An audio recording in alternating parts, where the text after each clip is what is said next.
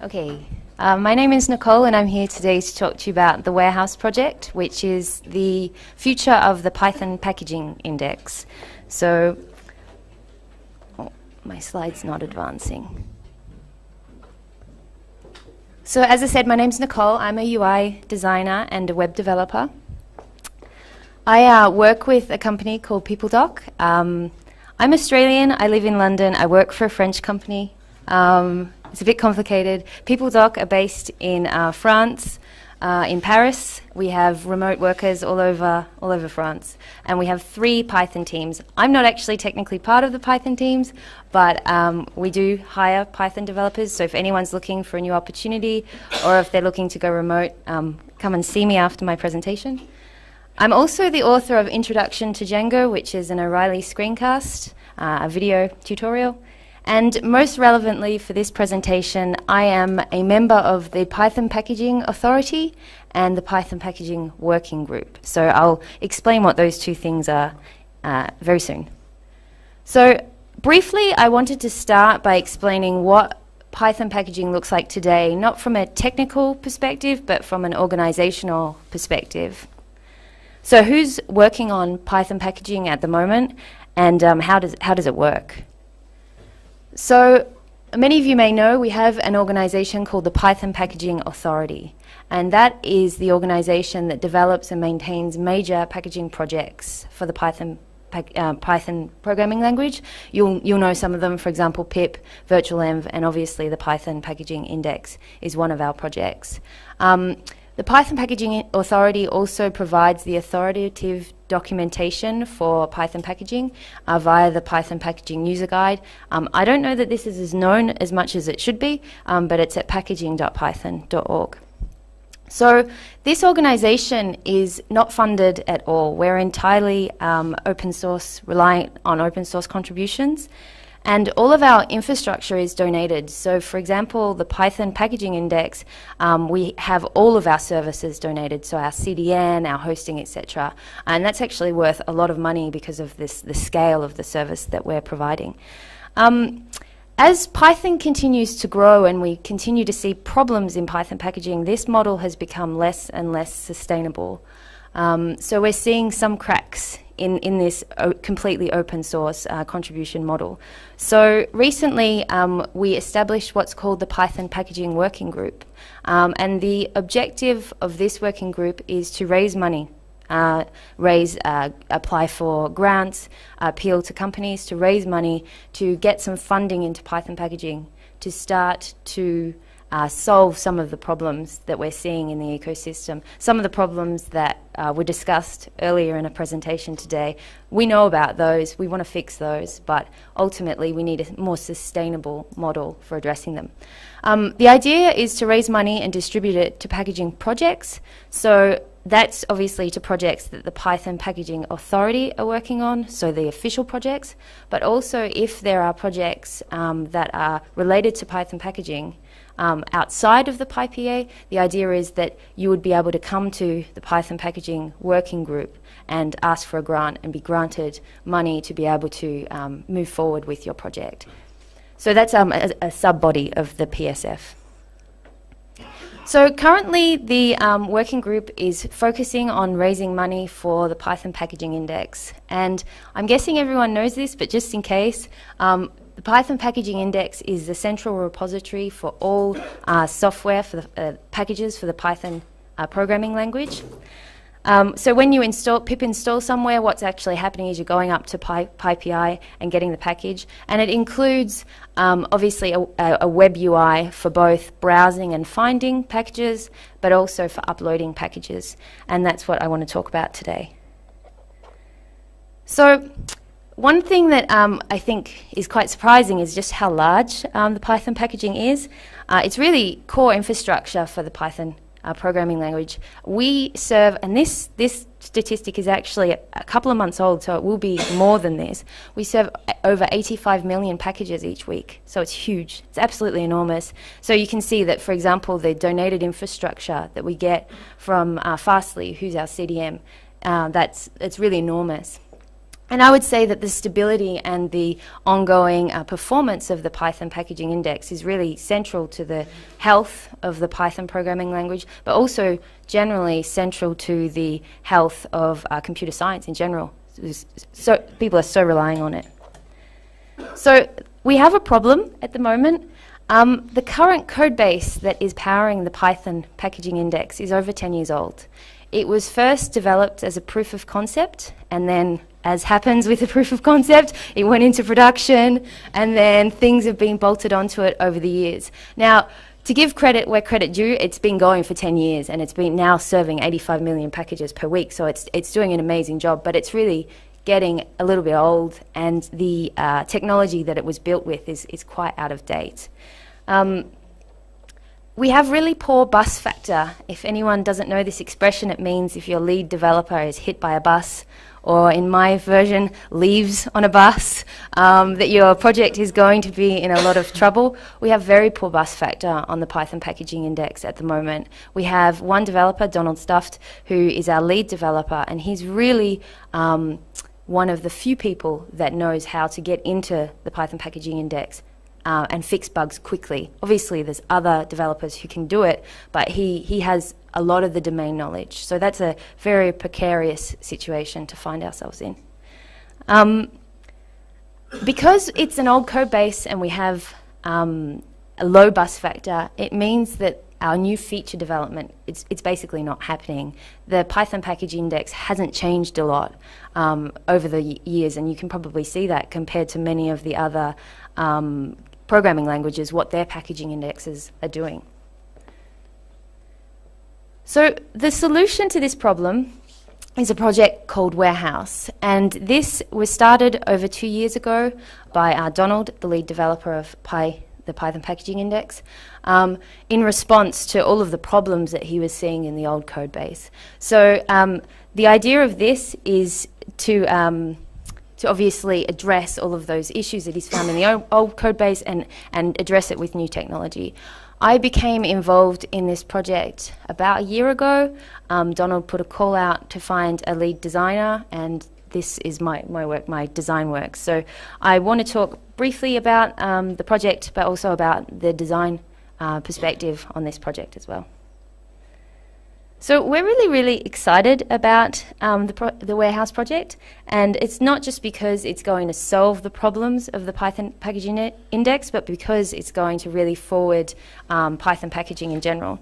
So one thing that's great about it, as opposed to our 10-year-old uh, code base, is that it's based on modern technology. So the old code base, as far as I'm aware, isn't written with a framework at all.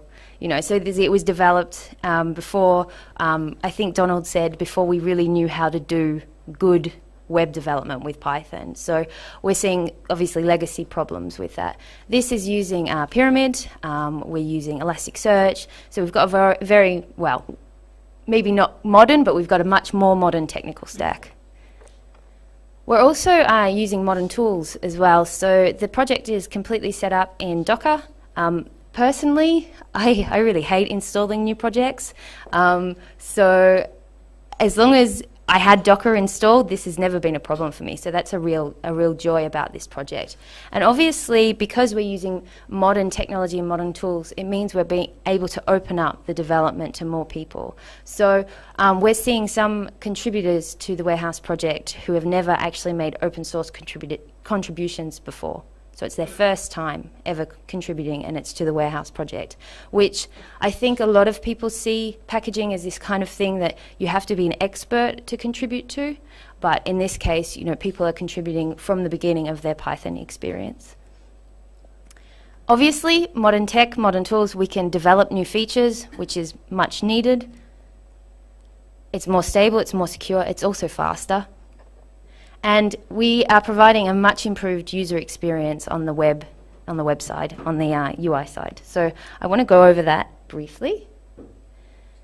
So when redesigning the uh, Python packaging index, I had certain design goals that were centered around the way the Python community works. So the first thing was to prioritize accessibility and usability. So given that we have 85 million um, downloads each week. Obviously, we don't have that many people going to the site, but it's, it's, it's a very visited site, and it, people are coming to the site from all different browsers on different devices with different needs. So it was really important when designing uh, the new uh, Python packaging index that it was accessible and uh, usable for everybody. And we've actually had some accessibility audits done on the current design, which turned up well, so we're happy about that. The second thing is because Python is an entry, very much an entry level uh, language, being taught a lot in universities now, um, we really wanted to help users understand Python packaging, which I know is not easy, but we're making efforts there. We want to help users to choose the right package. And we want to obviously modernize the visual design. That's actually probably the least important point, but it's kind of, kind of obvious. So this is what the homepage currently looks like. Um, and these are still work in progress. It's not launched yet, so um, we've got some work to do. But basically what we've done is we've emphasized uh, the search. We have much clearer help so for example, we've got help links at the top. We've got um, help links in the text here saying learn about installing packages, learn how to package your Python code. So that's all going back through to the Python packaging user guide. So before we had this kind of separation between the public facing um, Python packaging index and the user guide, we're trying to bridge that gap so that people can get to the help information that they need. Um, obviously, from an accessibility um, perspective, we've got large, high contrast text, and it's not uh, impressive at all. It's fully responsive. That's not really impressive, but it certainly is a uh, improvement on the old um, design. From the search perspective, as I said, we're using Elasticsearch, so it's much, much more powerful. It's much faster. Um, and we're also trying to introduce ways that you can filter, start to filter uh, when you search for packages. So at the moment we're doing search filtering by Trove classifier. I'd like to introduce some other uh, search uh, functions. And so this is a package detail page. Um, so the real challenge with um, the detail of a package is that some packages on the Python packaging index have a lot of information, like this one, and some, you know, have nothing very little. So that's the challenge from a design perspective. How can you design an interface that uh, works in both instances? So the main thing is that um, the most important information is first. So how to install, you know, from a be beginner's perspective, how do I, what, what's it called and how do I install it? They're the two most important questions. And then we start to go through and expose the most important information. One new feature, as you can see up here, there's a homepage link. Um, so we have um, the, the capacity, you now have the capacity to add generic links to your package. So you could add, so the Django project could add a link to its source code. They could add a link to their documentation, a link to their uh, website and they would all show, show across the top. So this kind of way of using the packaging index is a way to find the package and then being able to get to every point of information about that package. So the good news is we're almost ready to release. Um, we just have a few things to do. So the first phase is really to focus on um, making the warehouse project what you see when you go to PyPy, Pypi.python.org. So the focus is on all the public facing pages, so those pages that I just showed you, as well as some of the author pages, um, getting those up to scratch so we can release them. Um, we need to remove some UI functionality that's not ready from on the Python side. We need to make adjustments and improvements, and we also need to improve our infrastructure as well. So we've got some legacy infrastructure that's obviously working with the old site. We need to update that. And the second, oh, excuse me, the second phase is to uh, after after the first phase, we, phase we will um, basically make Warehouse the default project, but you'll still have to, when you want to log in, go back to the old Python packaging index. So we'll have to keep that and maintain that in parallel. The second phase is the idea is to get up to um, parity with the existing site by providing a logged in user interface, so when you go to upload a package, and also providing an admin interface for managing the site. After these two phases are over, we will turn off the old code base and we're really excited for that point because it means that we uh, are allowed to or can get rid of the legacy code base, which is causing obviously a lot of uh, resource um, to be drained out of the packaging uh, infrastructure. So that's what we want to do. These are ideas that we have for the future.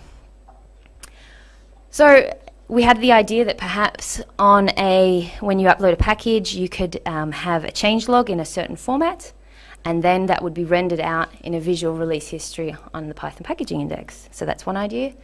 We had the idea of integrating badges. So, for example, um, code coverage badges or whether or not your tests were passing, etc. Actually integrating those into the index. Um, we want to improve search filtering. Markdown support, at the moment we only support um, RST, so that's one of our, uh, our, our, future wants. Uh, I have been told it's not as easy as you might think. Uh, interactive statistics, so we have a lot of statistics on uh, how how many people are downloading a particular package and fr from what um, operating system, etc. So we want to be able to expose this for the end user to be able to perhaps choose a better package, but also for the package author to be able to see, okay, um, how many people have downloaded my package, in under what, what circumstances, and also perhaps have a um, uh, an overview of, for example, I've got 10 packages on, on the index and this is how many downloads I've had in total on all my pro projects. Ah, and this one's interesting. So we've also had proposals for a security notification system. So if um, there is a security vulnerability in a package that you're maintaining, you would have a way through the Python packaging index of notifying the people who are using that package to say, hey, you need to upgrade to this new version because the old one's insecure and out of date. Um, so that, that's something that's still very much a proposal, but something we'd like to explore. So the question is, how can you help? You can contribute to this project now at, on uh, GitHub at PyP PyPA warehouse. You can donate to the uh, Python packaging working group, or you can ask your company to donate at donate.pypi.io. And you can actually use the new um, warehouse at pypi.io. So that has um, the same database. It's using the same database as the Py Python packaging index currently is. So you can basically be an alpha or a beta, I don't know what we're calling it. You can be a test user, uh, find bugs and, and let us know what's, what's wrong, what you like, what you don't like. These are some resources. Um, so uh, I will share these uh, via my Twitter uh, once I'm done. But um, basically, we've got some information on the working group and our um, uh, our goals. Um, we've also got some interesting uh, articles from Donald, our lead developer, about uh, what it takes to actually power the Python packaging index and how many downloads we're seeing, the type of downloads. We've got a, a, podcast that talks about all these issues. Um, a very interesting article from Nick uh, Coghlan about the Python packaging ecosystem, slightly more technical but also organizational. And I've also written an overview of the design objectives that you can read as well. So thank you very much. Um, I will post these slides on my Twitter, NLH um, and uh, as I said, check out the project, and we'd like, love to see you contributing. Thank you.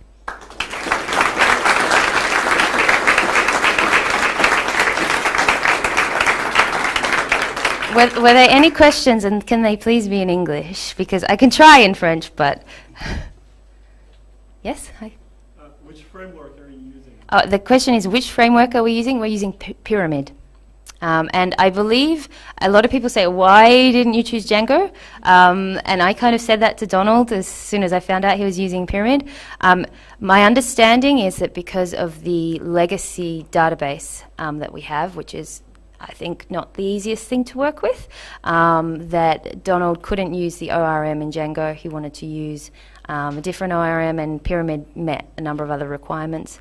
Um, but everyone who's contributed so far has enjoyed working with Pyramid. So if you don't know it, maybe it's a good opportunity to learn it. Yeah? Okay, do we have any release date? No. As I said, it's a completely open source project. We don't have any funding, so it really does rely on um, the availability of those contributors to get, get the work done. If we are to get some funding through the, um, the working group, then we'll be able to put a release date and make plans for these are the things we want to do. Um, but until we get that funding, then it's, it's really w- when it happens. I think we planned on releasing it last year, so that gives you some indication of, you know, how, how these things go. Were there any other questions? Yeah. Okay, so the question was, can this be uh, considered an alternative to devpi, like local, local? Um, that's certainly not our priority at the moment. Um, but I believe that there have been some people who've been looking at it as perhaps forking it and, and making it work in that, that way. Having said that, it doesn't serve the same purpose, so it would obviously have to be uh, modified quite a bit to, to serve that purpose. Um, yeah? Is there any like transition issue that we should be expecting? Nope. Oh, sorry. The question was, is there any transition issues that we should be expecting? No, not at all. As I said, you can start using this now. So it's really just, um, yeah, it's just from our perspective that we've rebuilt the technology. Uh, there's nothing that's being deprecated as part of this process. Yeah. Uh, aren't you worried that some people might abuse the uh, notification system? You- uh, the question was, are you worried that people might abuse the notification system? Yes. And that's, and that's why we're still um, discussing it. There's been a lot of discussions about um, how we should expose the, or if we should expose the authors of packages. For example, um, you know, should we allow people to contact um, the maintainers of a, of, a project? And do people want this as, as a way of contact? So we understand that we need to be very careful about what information we expose. Um, and what systems we put in place so people aren't abusing them. Another idea that we had at one point was to um, have like a rating system on on on um, the packaging index, which I believe they used to have many many years ago, and then they took away um, because it was basically a, a a sort, it was a problem for the community in terms of people going on and saying this this package is no good, and the um, the author of the packaging package having no way to respond to that, and so it kind of became this. Um, it, it opened up the potential for abuse. So we have to be very careful about how we manage that um, to make sure that everyone plays nice. Um, were there any other questions? Nope. Oh yeah. Um, there, do you plan to have a way to differentiate packages of good quality uh, from packages that you know my students make during a workshop? Okay, so the question was, do I plan, do we plan to have a way to differentiate good quality packages from um, packages that were made by a, a new developer, a student? Um, that's what I was t- saying about having the package rating. We had to be very careful about that.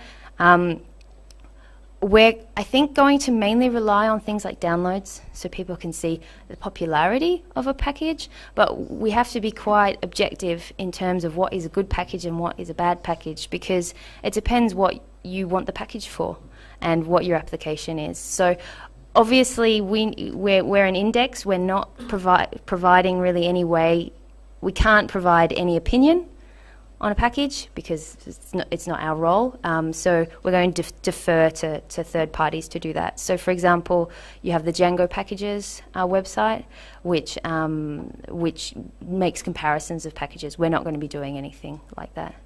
And I think there was one more question at the oh, one there.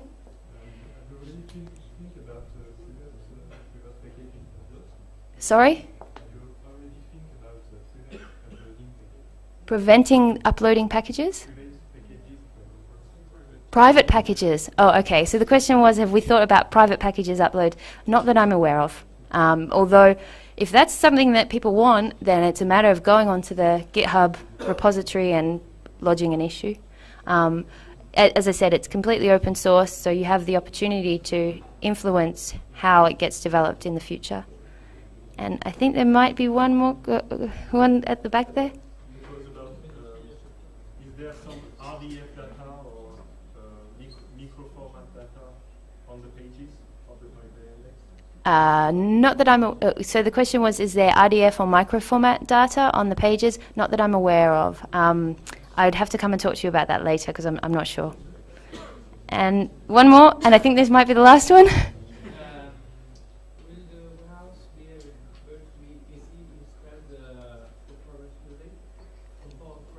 Okay, so so the question was, will warehouse be able to be installed for private usage, um, which is pretty much the same as the question over there. Um, can, can it be used as like a devpi? Um, as I said, it's not our priority, but maybe. If, if you want to fork it and do something, then yeah, but it's it not, not currently. Um, I think that's it. Thank you very much.